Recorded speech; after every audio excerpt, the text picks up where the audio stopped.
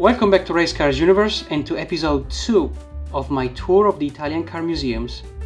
Today we're in Maranello, a small town near Modena, known to many for its distinctive color theme and the historical importance it holds.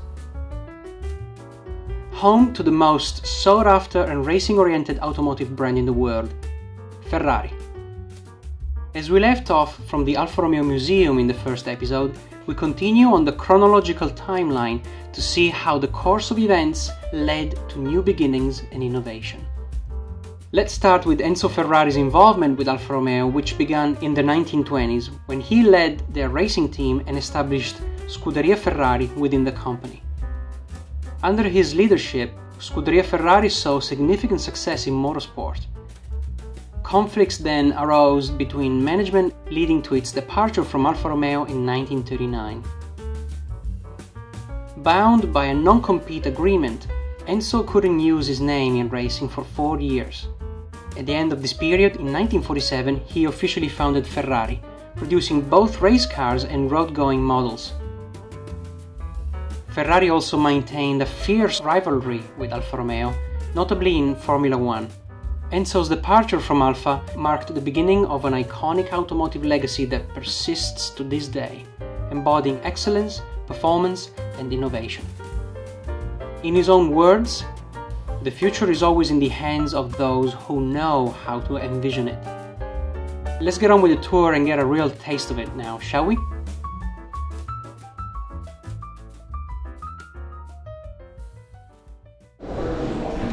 Here we are guys, finally. First car here is a 250 LM from 1963 crazy to think that Le Mans cars used to look like this back then beautiful shapes, beautiful lines. We can see here a complete body as well.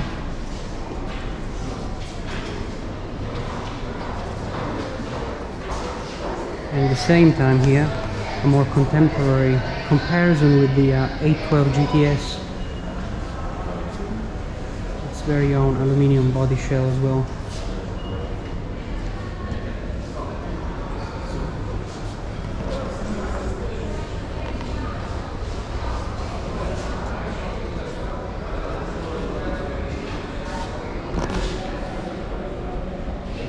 We enter here the next section, kindly renamed Supercars with the history of the holy grails of Ferrari. So we start off here, obviously with the GTO, an incredible design, really wide, wheel arches, iconic interiors, still reprised in today's modern cars by Ferrari.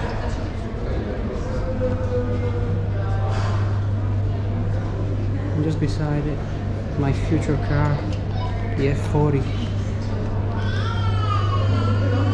V8 twin turbo, super lightweight. The last one that Enzo Ferrari was able to put his hands on in terms of designing. And project coordination. What an amazing car, guys.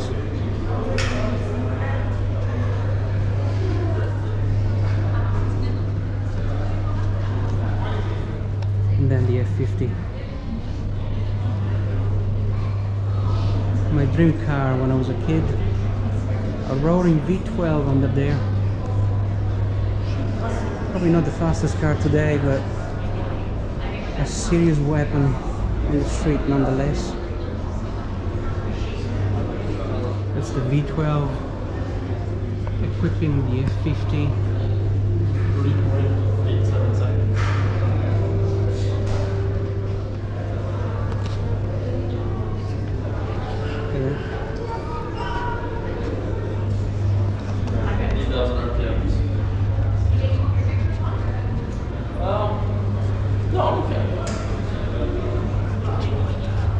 Here we find the other two, actually three iconic masterpieces the Enzo Ferrari or Ferrari Enzo. This car came out, broke, actually shattered all the records currently held by other cars. Such an incredible engineering feat. The engine you see there is actually this one here, truly monolithic gigantic V12 twin cam. Unbelievable. So it's a really big engine I can tell you that. And then here the Ferrari La Ferrari starting with the Enzo they uh, implemented the, the gull wing opening doors you can see here they're latched into the, the roof.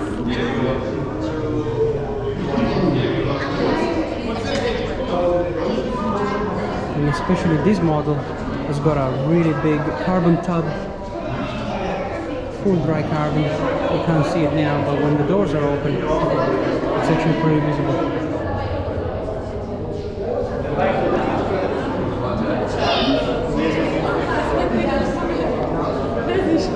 And then here, the more extreme racetrack oriented uh, version of the LaFerrari, the FXXK Evo. Now, the cool story about this is that you cannot actually own it.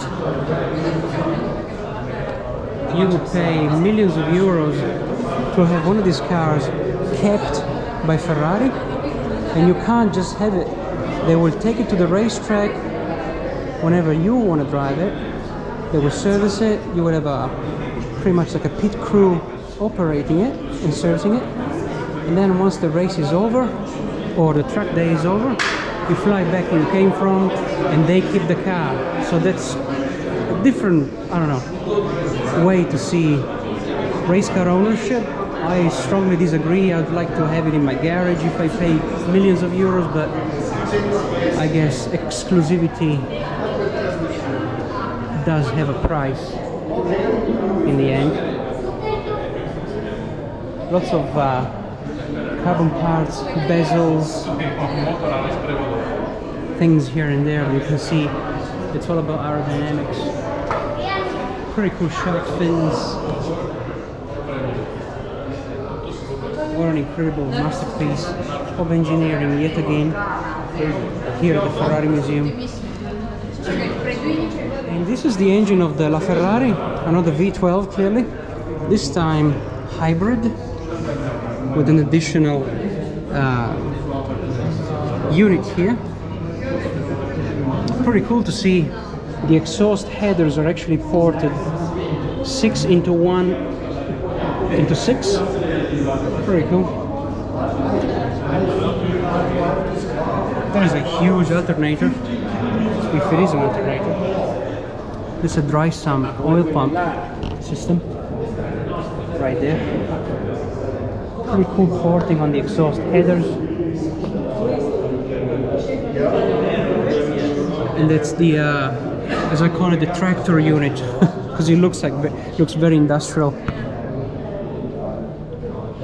so that that produces 120 kilowatt or 163 horsepower the electrical motor for a total power output of 960 horses. Should be plenty isn't it?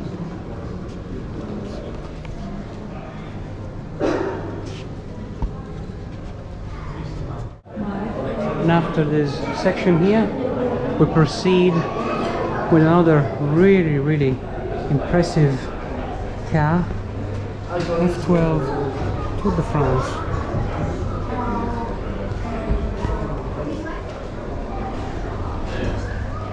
really cool color combination. Really dig the uh, the interiors.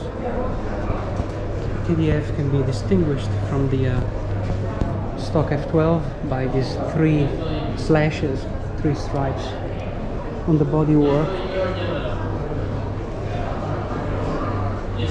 Beautiful car honestly though I would still take the 812 of this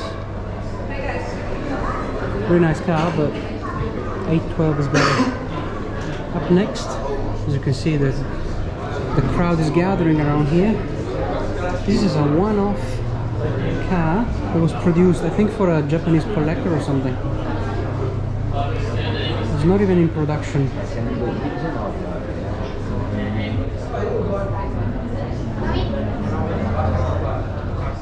Stunning P80. Very outstanding to see all the uh, production pictures and projects and sketches of this P80, which I'm sure you recall the shape of it that inspired the uh, SF90. As you can see here, that really looks like an SF90.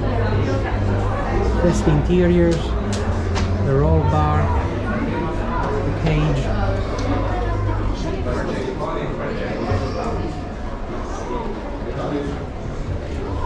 I took this project to the next level and turned it into the uh, SF90.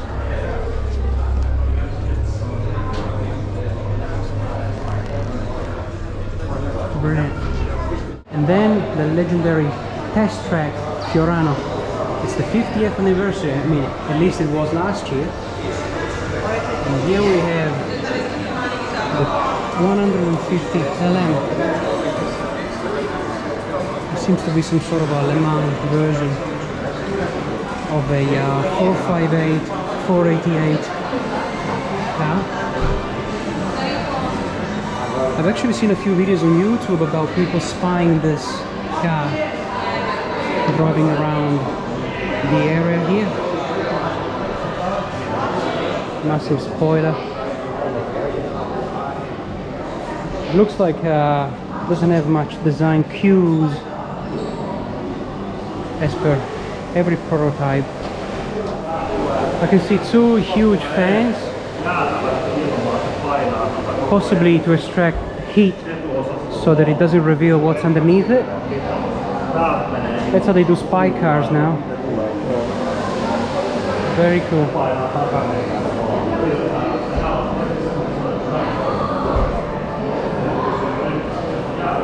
What a monster? And here, a really cool F430 GT3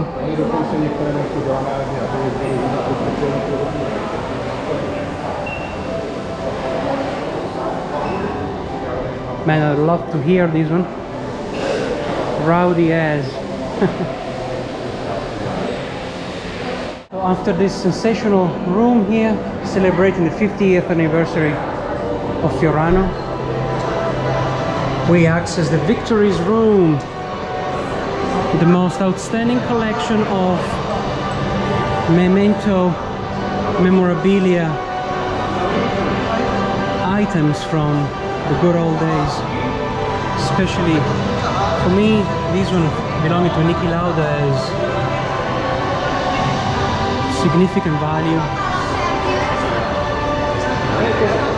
and also Michael Schumacher for me especially these two being an 80s kid are two very important race car drivers but then of course John Surtees, Phil Hill, Hawthorn, Fangio and Ascari. Well, the trophies as well. I just noticed them now. Look how many. That's what's special about Ferrari. They won so much that everyone wants a little piece of that victory for themselves. That's why everyone wants to drive one.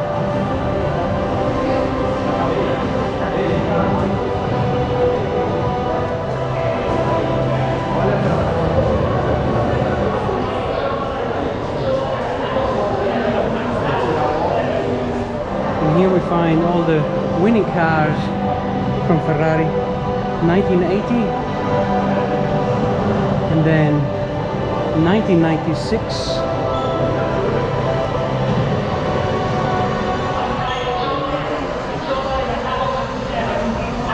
1999 you can already see the difference in aerodynamic wings and additions to the bodywork and then the year 2000. We start to see a bit of white coming up in the racing colors compared to the previous version. And then 2001, more white, this time on the sides. This is the beginning of the winning streak that will lead Ferrari to the top of the world with Schumacher driving it. More colors, more aerodynamic solutions for this 2002 version. And then 2004 and 2007 there. You can see the striking difference within just three years from one to the other. You can really catch all the differences between the two models. Incredible front nose. Very compact design. Again, lots of wings everywhere. Compared to the 2004 version.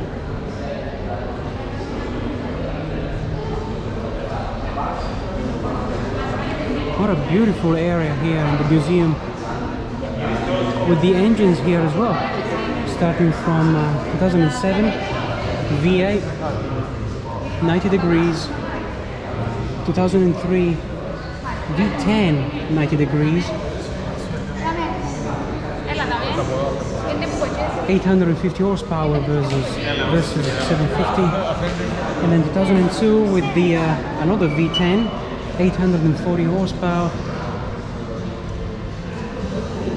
Just look at this thing man incredible. And the 820 horsepower V10 still in 2001 the V10 era was the most sensational from a performance and also from an entertainment point of view. What a sound. Even Lewis Hamilton regards this period as the best in F1 history. Bring back the V10s we surely hope so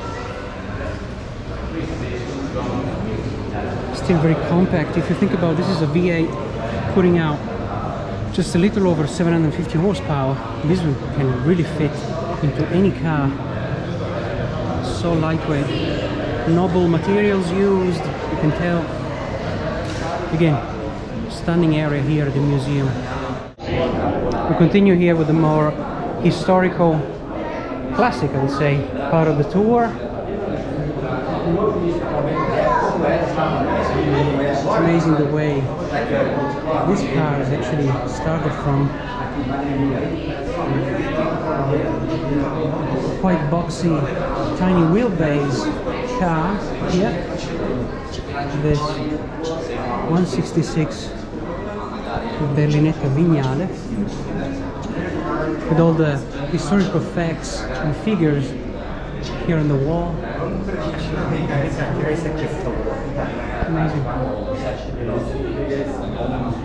And then a 340 mm. This thing was doing 280 kilometers an hour in 1953. Imagine that. Look at that. perché sapeva che era un miracolo lui di media a 245 km all'ora ma era una gara che nel 53 passava per il centro storico dei paesini più piccoli d'Italia And then here, 268 SP. This one was doing almost 300 kilometers an hour in 1962. You can tell it's so streamlined with the uh, curious rear view mirror just popping up like that. Very nice. And also something going on there. That pipe looks like uh, it's probably the fuel. Oh yeah, it is the fuel tank linked together by that pipe down there on your feet. Imagine how safe. Man, look at those trumpets. That's amazing, eh? wow. With the uh, iconic ducktail. Something that, something that probably Carroll Shelby copied from. And then the cherry on the cake, guys. The 330 P4. Now I'm assuming this being an original one, as we are after all in the Ferrari Museum, so this must be a real 330 P4, the legendary Le Mans car. Unmistakable shapes and design with the Prova decal there in the back, Modena 36.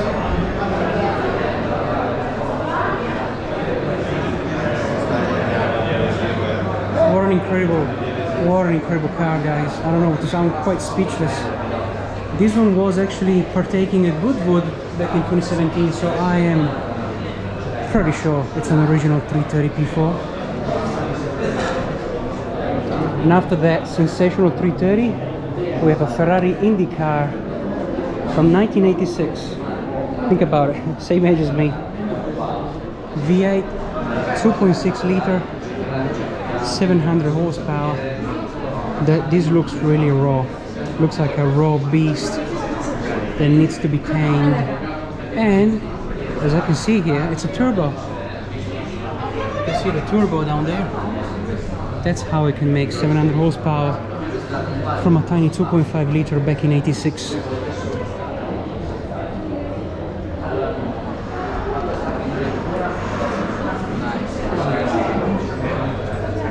And here, the 2018 Ferrari F1 Look at the amazing amount of uh, aerodynamics, uh, wicked things here and there. Even here, look at that. Unbelievable. Every single piece of bits and pieces of aerodynamic counts. Is already with the halo for safety.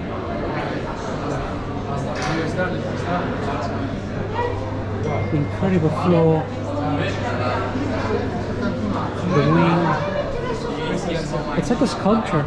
It's hard to explain. Like unless you're li- literally here, witnessing. It's a twin turbo. You can see the two waste gates. Uh, exhaust there. It's very very hard to show you guys on the video, but the aerodynamics is just next level. Even here, at the entry of the wheel well, there are bits and pieces that contributes towards the aerodynamic grip. Including those ones as well.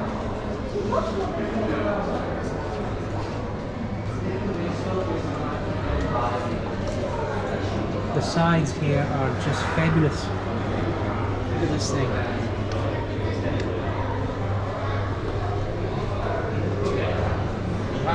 Very, very hard to show you guys on a video. Hopefully you're getting a bit of an understanding of how insane and crazy this is.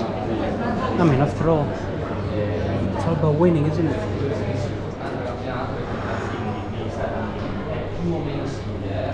Even has a wing on top of the halo, as you can see. Unbelievable. Incredible. And here we have something curious, guys. The evolution of the Scudetto, as we call it. The little shield that was carrying the Ferrari logo starting in 1923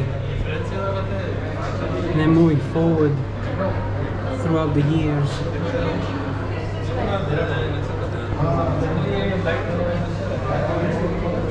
You can barely notice the subtle differences.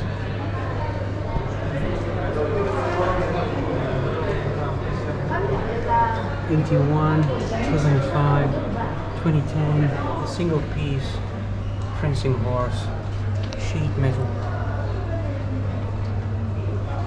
I really like the 85 one, of course. Really cool. I like it. So this pretty much concludes the uh, the tour of the Ferrari Museum here in Maranello. You gotta remember that there are two museums now. The Enzo Ferrari Museum is in Modena, And where we are right now here is in Maranello, which is literally a stone throw from Modena anyway.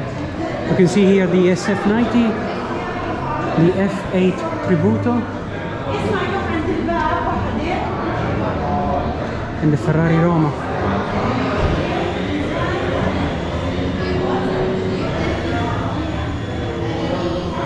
With the uh, V12 engines here.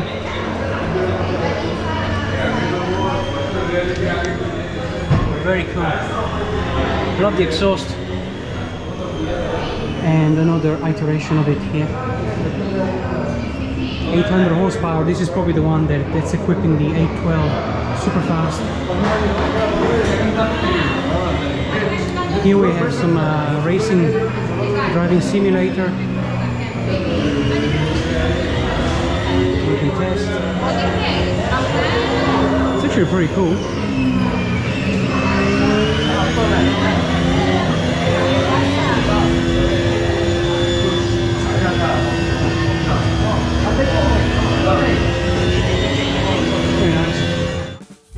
Wow, there was plenty to see and feel. A true statement to perseverance, branding, racing culture, and real heritage. We're now moving to the next part of my trip, involving another very famous manufacturer. Yep, you guessed it, it's Lamborghini. As many of you know now, thanks to the movie release, Ferruccio Lamborghini approached Enzo proposing a great partnership, only to be told off and to keep making tractors instead. This sudden dismissal fueled Lamborghini's determination, pushing him into crafting his own line of top tier sports cars as a response to Ferrari's insult. But that's for another day.